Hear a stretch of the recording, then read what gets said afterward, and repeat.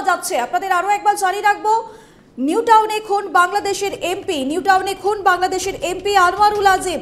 New টাউনে বিলাসবহুল flat ভাড়া নিয়েছিলেন, তারপর থেকেই নিখোঁজ ছিলেন বলে অভিযোগ রয়েছে। বাড়ির লোক বারবার ফোন করলেও যোগাযোগ করতে পারেনি। এরপরই বাংলাদেশ মেট্রোপলিটন গোয়েন্দা বিভাগে লিখিত অভিযোগ জানানো হয় পরিবারের পক্ষ থেকে।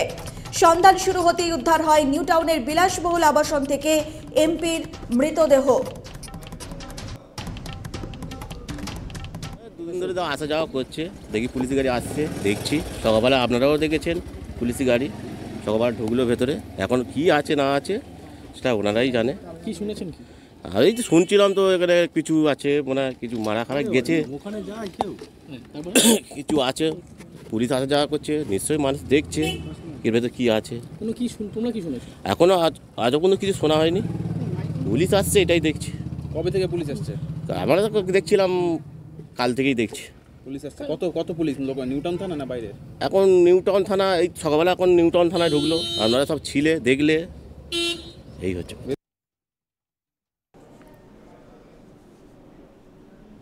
নিউটাউনে খুন বাংলাদেশের এমপি আনোয়ারুল আজিম নিউটাউনে বিলাসবহুল ফ্ল্যাট ভাড়া নিয়েছিলেন আর তারপর থেকেই নিখোঁজ ছিলেন বলে অভিযোগ রয়েছে।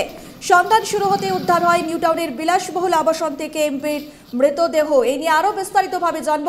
টেলিফোন লাইনে রয়েছেন আমাদের বিশেষ প্রতিনিধি সুকান্ত মিত্র। সুকান্ত দা কি খবর পাওয়া যাচ্ছে?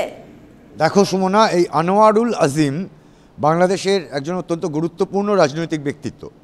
তিনি আওয়ামী লীগের তিনবারের সাংসদ। তিন তিনবার তিনি নির্বাচিত হয়েছেন এবং প্রত্যেকবারই বিপুল ভোটে নির্বাচিত হয়েছিলেন। যেটা জানা যাচ্ছে যে তার স্নায়ুঘটিত রোগ আছে এবং আজিম এর আগেও ভারতে চিকিৎসা করতে এসেছিলেন। বেশ কয়েকবার তিনি ভারতে এসেছেন। চিকিৎসা ছাড়াও অন্যান্য কারণেও ভারতবর্ষে এসেছেন। কিছু সময় কালচারাল কিছু ফাংশানে যোগ দিতেও ভারতে এসেছিলেন। এই আনোয়ারুল আজিম গত বারো তারিখে, বারোই মে তিনি কলকাতায় আসেন এবং বরানগরে সিথিতে তার এক বন্ধুর বাড়িতে ওঠেন। সে বন্ধুর নাম যা জানা যাচ্ছে গোপাল বিশ্বাস। আচ্ছা। তার পরের দিন তেরোই মে তার বাড়ি থেকে বেরিয়ে পড়েন আনোয়ার এবং জিনিসপত্র কিন্তু গোপালবাবুর বাড়িতে রেখে। লক্ষণীয় ব্যাপার হচ্ছে যার জিনিসপত্র সমস্ত গোপাল বিশ্বাসের বাড়িতেই ছিল এবং গোপালবাবুকে তিনি বলেন যে তার একটা জরুরি দরকারে তিনি একটু বেরোচ্ছেন বেরোতে হচ্ছে তাকে। বেরিয়ে তিনি একটি গাড়ি ভাড়া করেন। গাড়ি করা ভাড়া করা গাড়ি তাতে উঠেছিলেন দুপুরবেলা বেরিয়েছিলেন, দুপুর দুটো নাগাদ বেরিয়েছিলেন, কিন্তু তারপর থেকে তার কোনো খোঁজ আর পাওয়া যায়নি।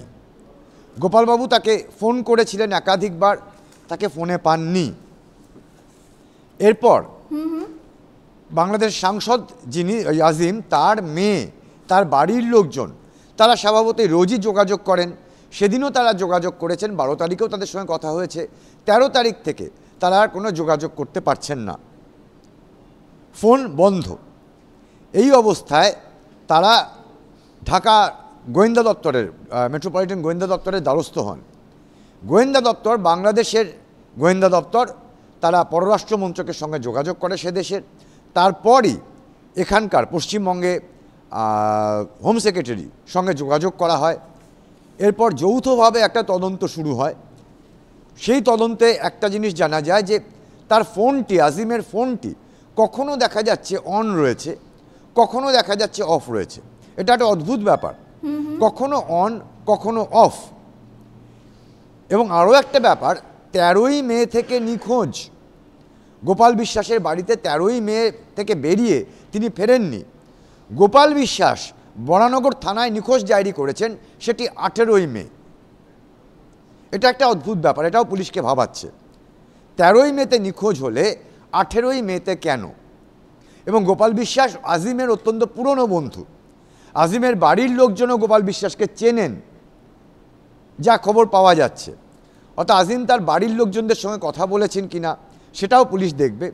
আঠেরো তারিখে কেন নিখোঁজ ডায়েরি সেটাও পুলিশের তদন্তের মধ্যে আসবে।